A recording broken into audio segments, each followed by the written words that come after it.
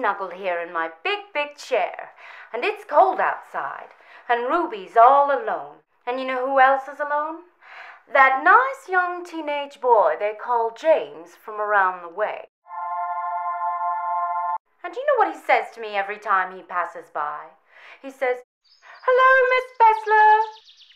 What do you think he means by that? Hello, Miss Besler. I saw him just the other day and he said, Why, Miss Besler, you look awful pretty today. And why, thank you, James. That's very kind of you. Miss Besler, Yes, James. could you help me with my science fair project? Why, James, I love research. Why don't you come on over and see me sometime? James, get away from her. She's twice your age and a floozy. So today's lesson, if you want a sex toy, make sure he's a man and not a boy. I'm Ruby Besler, reminding you to keep your panties on and your heels on the ground. Until next time.